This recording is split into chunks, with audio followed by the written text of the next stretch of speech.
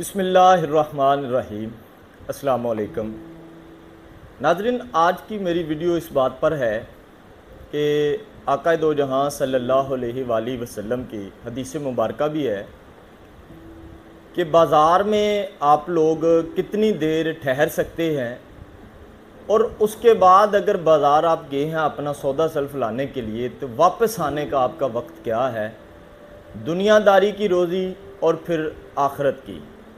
और इसके साथ हज़रत मुआज बिन जबर रज़ी अल्लाह तु की ये बात कि शैतान किस तरह से अपना अमल दखल करता है। अब हज़रत मुआज जबर रज़ी, मुआज बिन जबर रज़ी अल्लाह तु फरमाते हैं कि शैतान का एक बेटा भी है। ये बड़े ताज्जुब की बात जब मुझे भी पता चला तो मैं इस बात पे। उसका नाम है जलनबूर। और उस बेटे का काम क्या है? वो अपने बाप का खलीफा है।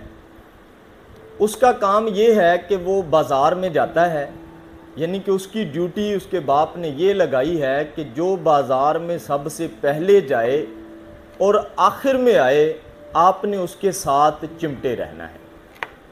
यानी कि उसको बाज़ार के अंदर जो लोग जाते हैं इस तरह के, उनको वर्गलाना है।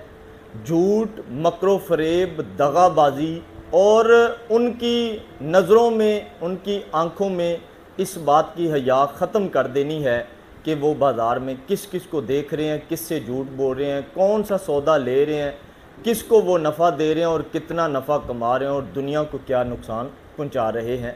ये उस शैतान के बेटे का काम है जो शैतान ने ड्यूटी लगाई है। तो इस बात से हदीस मुबारक ये है कि आप अपनी रोज़ी रोटी के लिए जाएँ और जैसे ही आप अपना मुनाफा कमा लें उसके बाद आप पलट कर वापस आएँ और फिर अपनी आखरत का जो मुनाफा है, उसको इकट्ठा करने के लिए मस्जिद में दाखिल हो जाएँ। ताकि ये ना हो कि दुनियादारी में आपने अमीरी हासिल कर ली, लेकिन आखरत के लिए आपने मुफलसी और तंग दस्ती का सौदा इकट्ठा किया, जो कि कभी भी काबिल कबूल नहीं होगा। अब इसमें एक और बात है, हज़रत इमाम अबू हनीफ़ा रज़ी अल्लाह तु के उस्ताद ग्रामी हमाद बिन सलमा रज़ी अल्लाह तु दुपट्टे का काम करते थे और जैसे वो बाज़ार जाते, दुपट्टे जब वो सेल कर लेते और मुनाफा जैसे ही उनको मिल जाता, वो अपनी गठड़ी उठाकर घर वापस आ जाते।